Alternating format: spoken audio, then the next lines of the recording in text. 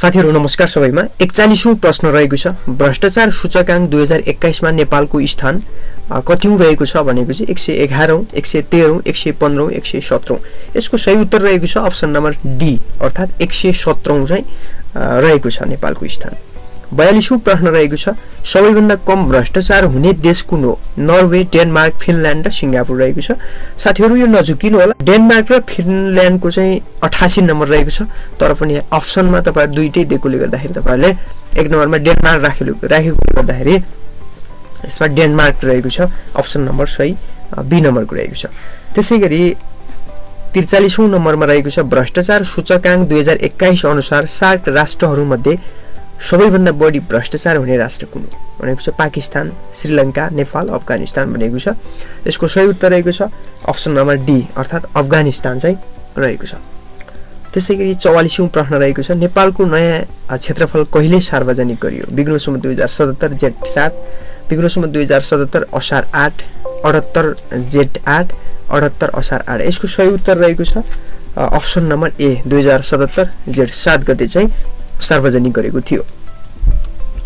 पैँतालिसौँ प्रश्न रहेको छ प्रधानमन्त्री कप टी ट्वेन्टी राष्ट्रिय क्रिकेट प्रतियोगिताको उपाधि दुई हजार अठहत्तर कसले जित्यो? Nepal APF club Nepal police club Nepal army club Tribhuvan army club भनेको छ यसको सही उत्तर रहेको छ। पैँतालिसौँ नम्बरको सही उत्तर रहेको छ अप्सन नम्बर ए अर्थात् नेपाल एपिएफ क्लब। साथीहरू तपाईँहरू नयाँ हुनुहुन्छ र अहिलेसम्म पनि हाम्रो यस युट्युब च्यानललाई सब्सक्राइब गर्नुभएको छैन भने कृपया सब्सक्राइब गरेर जोडिनु होला। हामीले आगामी दिनहरूमा अन्य थप इङ्ग्लिस र आइक्यूको ल्याउनेछौँ यो हामी करेन्ट अफेयर सकिए लगत्तै चाहिँ इङ्ग्लिस प्र्याक्टिस गर्नेछौँ। त्यो पछि हामी आइक्यू गर्ने नै छौँ। छ्यालिसौँ प्रश्न रहेको छ अरणीको अन्तर्राष्ट्रिय पुरस्कार दुई हजार अठहत्तर कसलाई प्रदान गरियो? साहित्यकार भैरव कार्की रश्मि रिमाल जनक खड्का साहित्यकार हरि अधिकारी। यसको सही उत्तर रहेको छ अप्सन नम्बर डी। सडचालिसौँ प्रश्न रहेको छ चौधौँ साग खेलकुद प्रतियोगिता कहिले गर्ने निर्णय गरियो? सडचालिसौँ प्रश्नको सही उत्तर रहेको छ अप्सन नम्बर बी सन् दुई हजार तेइस मार्चमा चाहिँ जुन चौधौँ साग खेलकुद प्रतियोगिता गर्ने चाहिँ निर्णय गरिएको छ।